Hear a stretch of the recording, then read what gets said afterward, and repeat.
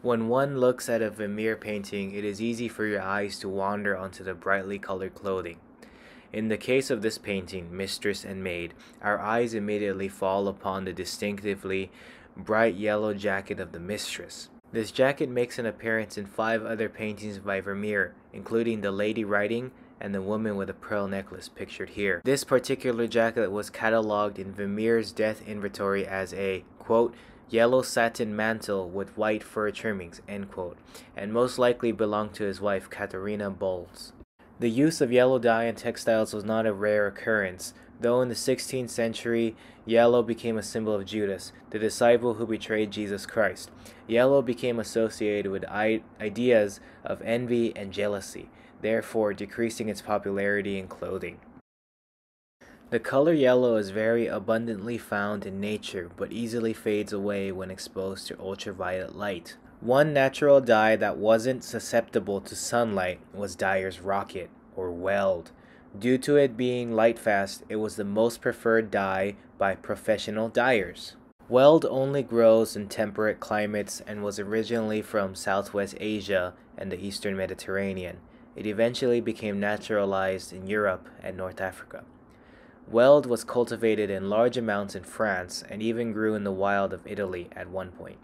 It eventually made its way into the hands of American dyers, but never gained as much popularity as it had in Europe. The use of weld as a dye dates back to the first millennium BC. Weld continued to be the most commonly used yellow dye until the late 19th century when synthetic dyes became cheaper to produce. During the time of Vermeer's painting, a new source of yellow was introduced into Europe through the Columbian Exchange. This new dye was known as Old Fustic or Dyer's Mulberry. Originally, Spanish explorers brought the dye back to the Old World and it gained popularity from around 1600 to 1850. How this connects to Vermeer is that during this time, Holland was experiencing the Dutch Golden Age, thanks in part to the VOC or Dutch East India Company.